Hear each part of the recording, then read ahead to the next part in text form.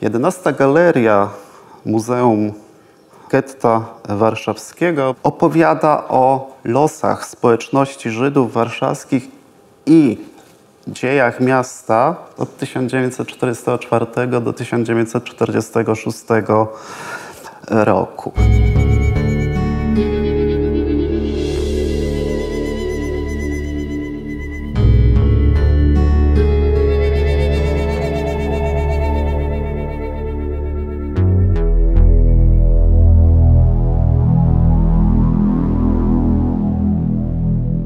1876 roku zamożne rodziny warszawskich Żydów, Bersonów i Baumanów zakupiły działkę, na której postanowiono zbudować szpital dla dzieci żydowskich.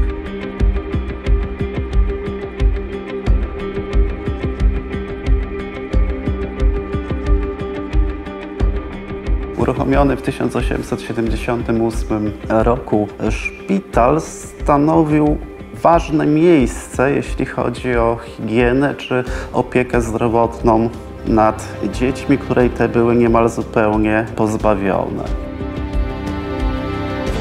Przez niemal cały okres swojego istnienia budynki pomiędzy ulicami Sienną i Śliską służyły jako szpital dla dzieci.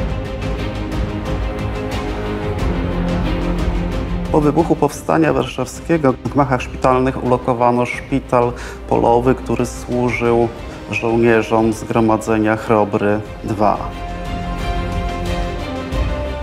Ze wspomnień wiemy, że w fatalnych warunkach, często przy świetle lamp naftowych czy reflektorów motocyklowych przeprowadzano w tym miejscu operacje. My, którzy rzekomo wyszliśmy cało z zawieruchy wojennej, odarci z wielu nadziei, radości, znaczeni ranami, co nie zabliźnią się nigdy, chyba okryje je błona podłości, my, którzy utraciliśmy najbliższych, choć wiemy, jak oni zginęli, uparcie i naiwnie wciąż szukamy. To są słowa z pierwszego numeru Biuletynu Poszukiwanych Rodzin ze stycznia 1946 roku.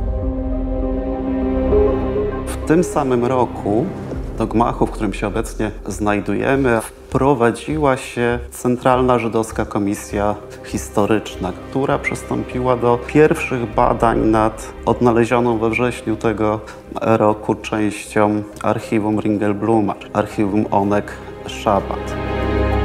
W prowizorycznych biurach urządzonych w gmachach szpitalnych znalazło pomieszczenie również Centralny Komitet Żydów Polskich, który funkcjonował w tym miejscu niemal do końca lat 40.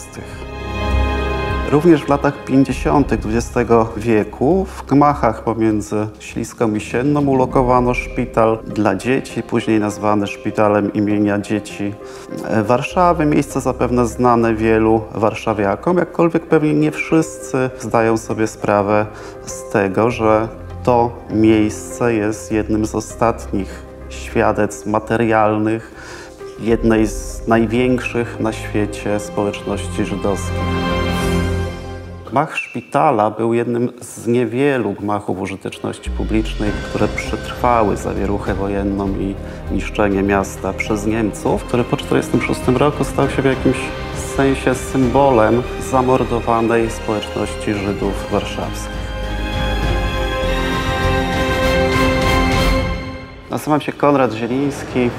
Jestem profesorem Wydziału Politologii i Dziennikarstwa UMCS w Lublinie i głównym specjalistą do spraw historii przed rokiem 1939 w Muzeum Getta Warszawskiego.